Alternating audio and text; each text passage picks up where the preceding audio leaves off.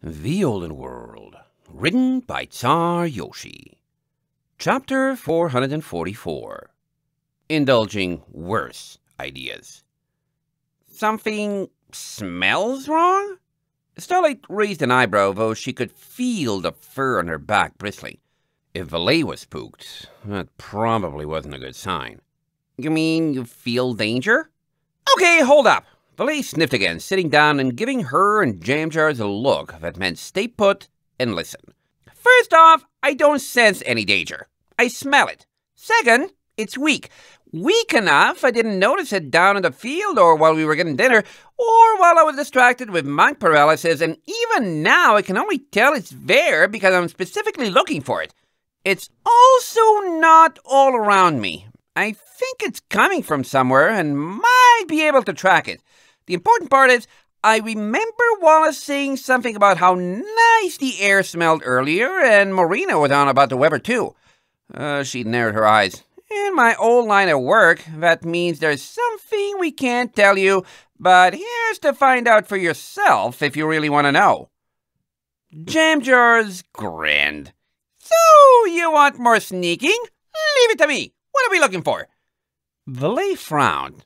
I don't know.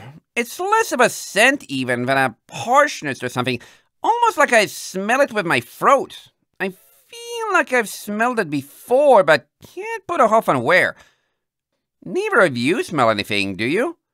Hmm. Starlight sniffed, taking several deep breaths and feeling with her throat like Valet instructed.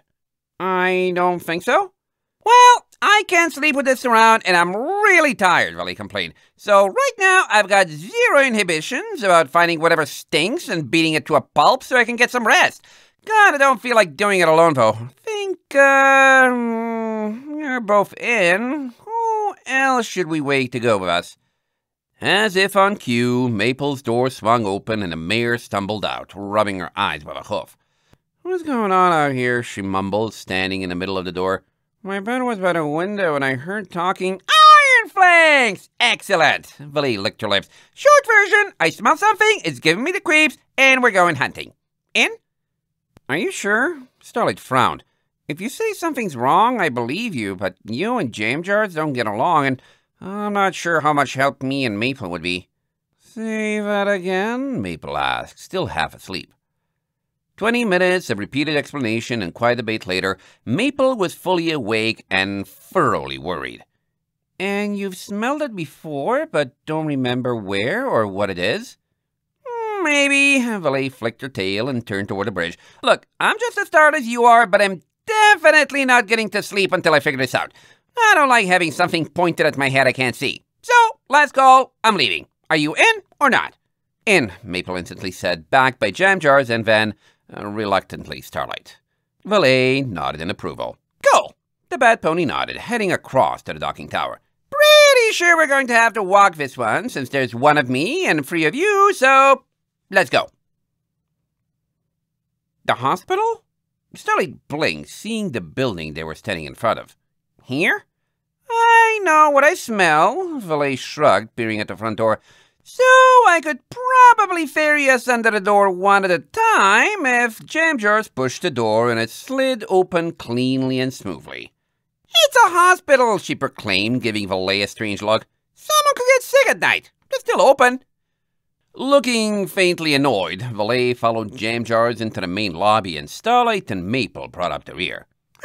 Hi, Jamjars announced, snapping the receptionist out of a light snooze and earning a look from a worried-looking stallion waiting in one of the lobby chairs. We're here to visit a friend. We already know the way, so don't worry about us. The receptionist looked vaguely surprised, but not enough to elicit a response. With a slow nod, she went back to sleep. Valet exhaled in relief. Go, let's see. Uh, she raised her head, sniffing again now that they were in the lobby. Which way is it? Hey, the nervous stallion in the corner greeted, getting up and trotting across, and looking like he would take any excuse to start pacing. You all got someone here too? What are they in for? Ah, uh, Valet looked unhappily at him, and Starlight could see why. He had the frayed appearance of someone who would talk their ears off due to his own nerves. Hopefully they wouldn't get stuck here for long. Sorry, but That's a little private. Oh, I get you. The stallion rubbed his neck and didn't make eye contact, mane slightly unkept. For me, it's the wife. Family matters. Uh, he glanced between Starlight and Jam Jars. You know the drill. Maple instantly winced. If this is going where it sounds like it's going, I actually hope I don't. Starlight froze. Some ponies just had to talk about things that would put her mother on edge. Scowling, she made it to Maple's side, choosing a hallway at random and quickly pushing her toward it. uh, Valet watched him go, awkwardly interrupting the stallion as he lamented having to leave the concert early and ensured a sitter could stay the whole night. Yeah, sounds rough, buddy. Best wishes and all that, but we really gotta bail. Jam Jars looked ready to add something snippy, but Valet grabbed her and dragged her away, and soon they were all out of sight around a turn in the corridor. Sorry, Maple murmured, tension draining. It's a whole entire hospital. All the different reasons a patient could be here, and we run into the one thing that makes me freeze up. Uh, she shook her head. Well, we weren't at all talking about the same thing, and I'm just jumpy. We're here for something else. It doesn't matter. We're here for something else. Yeah, you should get that looked at. Kind of a problem overreaction. Valet nodded in concern, glanced at the ceiling, then the door to a nearby elevator shaft. Anyway, my nose says down, so down we go. Give me a sec. She slipped into the shadows of the blue lit nighttime corridor and after several minutes was back. Okay, she explained. Elevator takes a password to go to any floor but the upper ones. Not really surprising. Iron Ridge had password protected elevators too. Good thing is, fees look like a similar model, so they shouldn't be too hard for me to manually override. There's a small chance that'll leave a trail if I do anything mechanical, though, so... So use the password, Jamjars replied, holding out a ledger with a roll of her eyes. Where did you get that? Valet asked, suspicious. Hmm, Jamjars shrugged. I stole it from the sleeping receptionist. It was hanging under her desk. Valet grabbed the ledger, scanning through. Patient admission data, money, blah, blah, blah. Ooh, sticky note. She flipped to a page and grinned. Elevator security level 1. Password loyalty. Huh, that's a weird password. Wonder if they like yaks. I wonder who left that note laying around, Starlight grumbled. Someone lazy, Jamjars asked. If they got muggers in hospitals, they really need to be more careful. Uh, scratched her head. That note looks like it was written by someone kinda angry. With a tiny little scrawl saying if someone forgets one more time, they'll change it to their name instead. Maybe it's just not that important? Let's see if it will get us to where we want to go, Maple murmured. Any idea how far down it is? Nah, Valet announced, opening the door and stepping in. But we'll find out. The elevator went down, slowly reading names in a mayor's pre recorded voice as it descended.